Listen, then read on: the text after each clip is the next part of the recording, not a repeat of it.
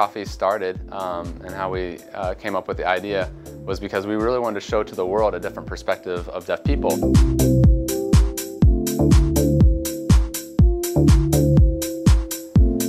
So people look at a deaf person like somebody who can't, and so we said, no, we want to show people that we can.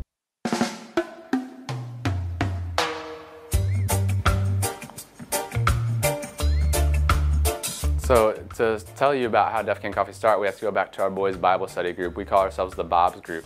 So on Tuesdays we meet together and we have Bible study and we are talking about um, love and respect and positive self-image, about learning who we are and how we can show that to the rest of the world. And so we wanted to learn um, how to improve upon ourselves. So we decided to go to St. Elizabeth to a region called Top Hill. And there's an old man there, his name is Clark, and he's a coffee farmer. He's about 80 years old and we went there on a field trip. And you understand, he signs different than us. He doesn't sign JSL like us. He signs what's called country sign. So we had a friend, Omar, who lives in that community who would interpret from Clark's country sign into our sign language so we could communicate with him. But he showed us around his farm. He showed us how he grows his coffee trees. He taught us how to prune the coffee trees properly so that you're growing the right cherries.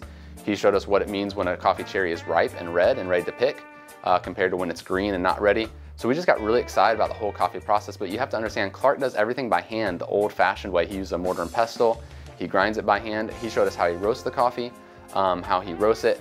Um, he took some out of a jar that he had fresh roasted and we smelled it and it was so powerful to smell. And we said, you know what? We, we want to be like Clark. We want to do what he's doing because he really inspired us. So our boys group talked about it and we decided that we wanted to start our own little small coffee business. And we wanted to name it Deaf Can Coffee.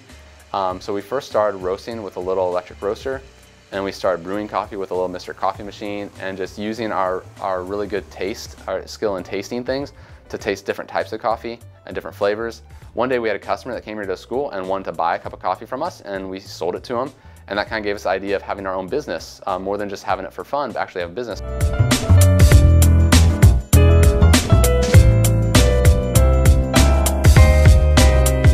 We started selling coffee drinks, saving up our money, getting better equipment, people started coming um, and getting really excited about it.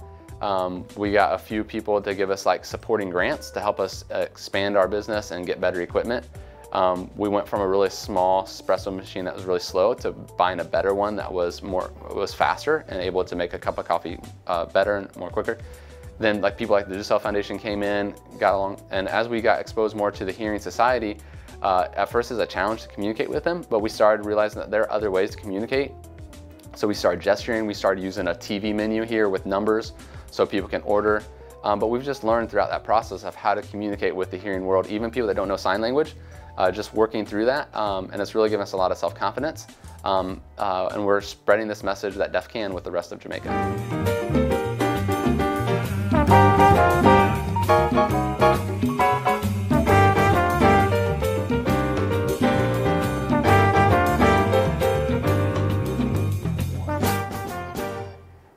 As deaf people really know how to taste things. We use our heightened sense of taste to know the best coffee and we're able to taste and make sure that we're always serving the best. It's perfect, honestly, it's perfect.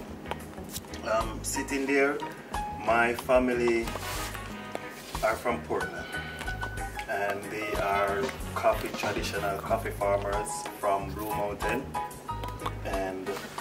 so I have been drinking coffee a very long time and I do believe that your eccentric taste of sense does really give, give an edge.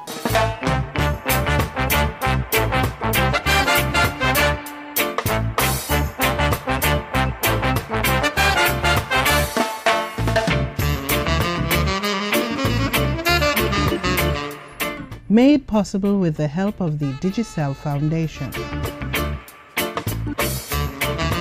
The Digicel Foundation has been a huge support of us. They came here um, two years ago um, and wanted to support us and grow our business, and that's when we wanted to open up this uh, training center here. So we started building E3, uh, the cafe that we're in today, um, but they really inspired us and motivated us through the grant that they gave us. Um, we had gone to an event at Abilities Foundation, a school here, and um, they had met us there at the Abilities Foundation and they were really impressed uh, by our coffee and they loved it and wanted to support us.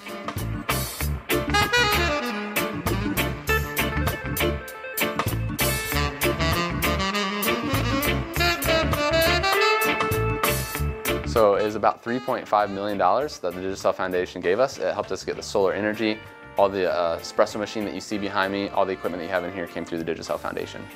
Now this is the tamp, and this is weighted and it's heavy, so this helps you put the proper amount of pressure. You want to put about 30 pounds of pressure and use a proper shape with your arm, make a 90 degree bend.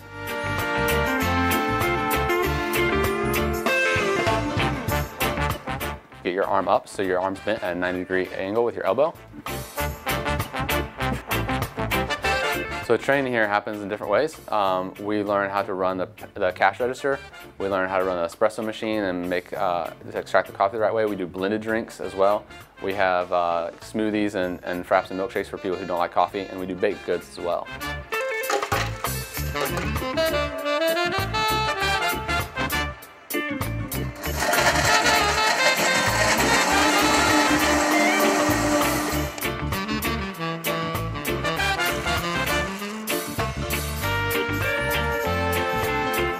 Uh, my mother was very concerned, didn't think I'd have a real job with Deaf Can Coffee, but as I got more involved, my mom started realizing and seeing uh, me in a more positive way, and my mom gave up and really supports me now in my job here. And, and as I go out into the society and just face people, it really grows our self-esteem. When people taste our drinks and say, wow, this tastes good, it really makes us feel good because we show proof that we can. So before, um, I wasn't very interested in interacting with the Hearing Society. I was very nervous. Um, and felt like it's just impossible to work through those communication challenges. But as we go mobile to events around the island um, and we go to events and meet and interact with Hearing Society, we learn to interact with them and we learn that you know we're not nervous anymore, we're very confident in who we are and we feel that we can communicate with the rest of society.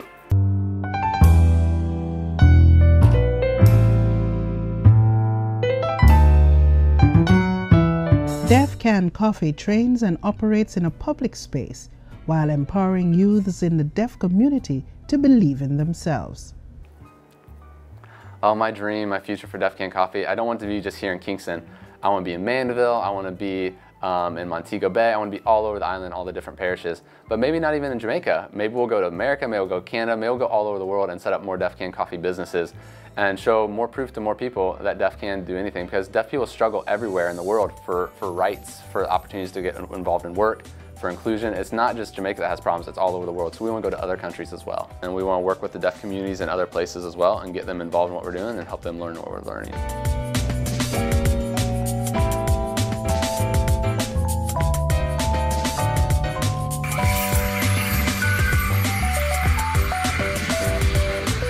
We are the deaf community.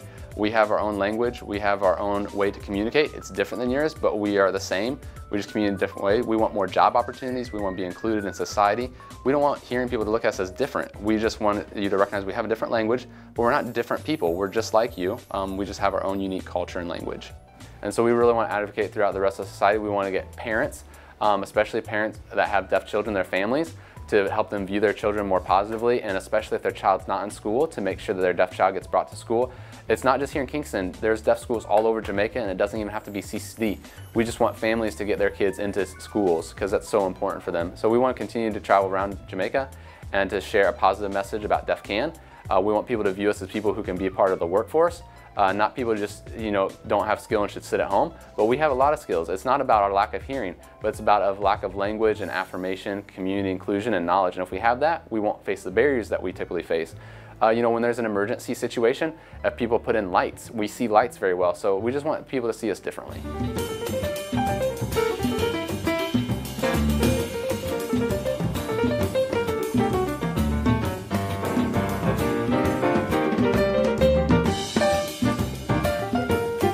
What I tell people watching this is just to believe us, believe that deaf can. Don't look at us as people who can't.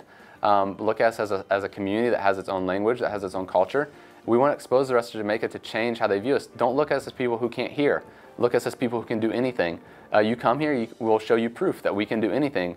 Uh, we'll, you can come here to our E3 Cafe. Um, we'll show you through our barista program that we can. Um, you can just come here and experience it, and then we just want to advocate throughout the community to really change how they see deaf people. We do baking here too. Um, we do so many things other than just coffee too, but we want people to just come and see it and experience it.